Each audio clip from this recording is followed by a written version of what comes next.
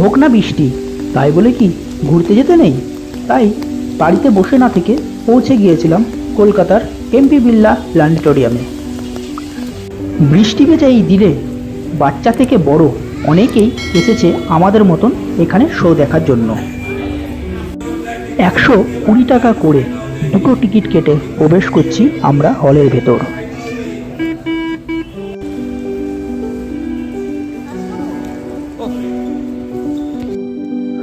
শুরু হওয়ার আগে এরকমই চারিদিকের অন্ধকার এবং শান্ত পরিবেশ। এটি কোনো সিনেমা হল নয়, তাই আমাদের সামনে কোনো পর্দা নেই। পর্দা যেটা হবে, অর্থাৎ শো যেখানে দেখতে পাবো, সেটি হচ্ছে উপরে ছাদে। অর্থাৎ আমরা নিচের দিক থেকে উপরের দিকে, ছাদের দিকে তাকিয়ে এই শো আমরা উপভোগ করতে পারব। শো এর কিছু মুহূর্ত আমি আমার ভিডিওতে তোমাদের দেখাচ্ছি Ladies, gentlemen, and young friends, welcome to MP Birla Planetarium, Kolkata. Since the early dawn of civilization, the human mind has been fascinated by the night sky. After observing the stars for generations, the ancients built monuments that served as giant calendars and observatories.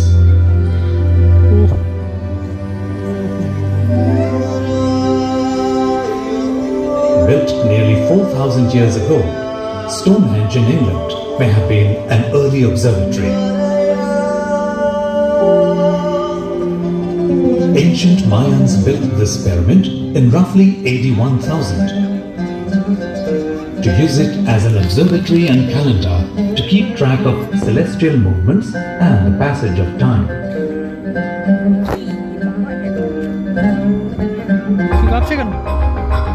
But the space age has changed some of our past understanding about the cosmos. If one of them is pulled into an orbit closer to the sun's heat, its icy surface changes from solid to gas unleashing an enormous tail of rock and dust অনেক that's millions of যে miles কিছু long. আছে ওগুলো দিয়ে গ্যাসও বেরায় রান্না করা যাবে গ্যাস দিয়ে দেখাচ্ছে But knowing what a comet is doesn't mean it can't cause trouble.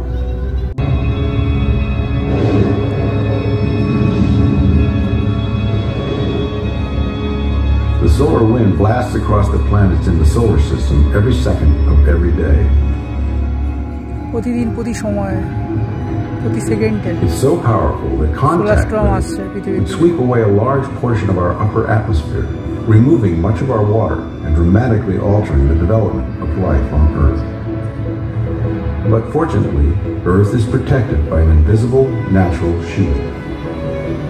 What you're seeing is a visualization of Earth's magnetic field.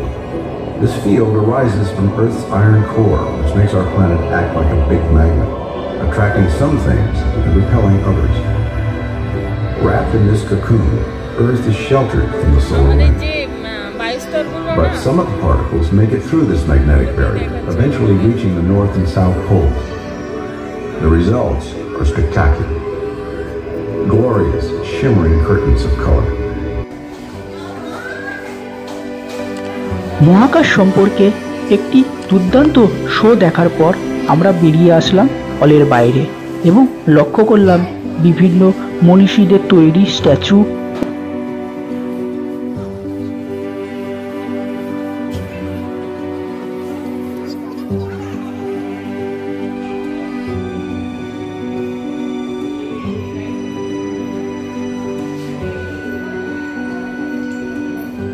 প্রত্যেক বাড়ির প্যারেন্টসদের বলব, তারা তাদের পাশাপাশি তারা তাদের বাড়ির বাচ্চাদেরও এখানে অবশ্যই নিয়ে আসুন, যাতে বিজ্ঞান সম্পর্কে এবং মহাকাশ সম্পর্কে বাচ্চাদের এবং পাশাপাশি আমাদেরও অনেকখানি জ্ঞান অর্জন করা সম্ভব হবে।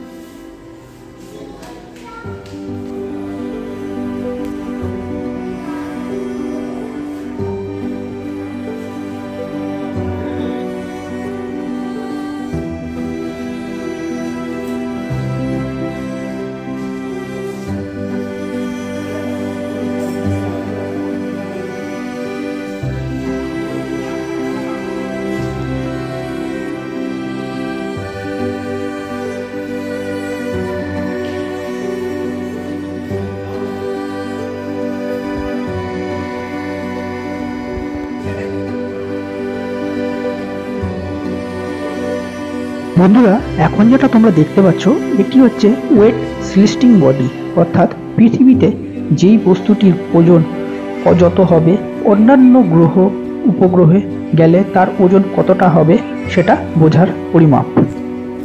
এই মেশিনটির অনুযায়ী, আর্থে আমার ওজন ছিল ছিয়াত্তর কিলো, কিন্তু অন্যান্য গ্রহে তার ওজন অনেকখানি কম বা কোথাও কোথাও তার অনেকই বেশি।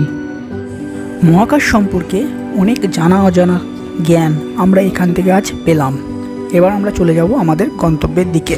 বন্ধুরা, তোমাদের এই ভিডিওটি কেমন লাগল? অবশ্যই তোমরা কমেন্ট করে জানিও। যদি ভিডিওটি ভালো লেগে থাকে, তো অবশ্যই লাইক দিও।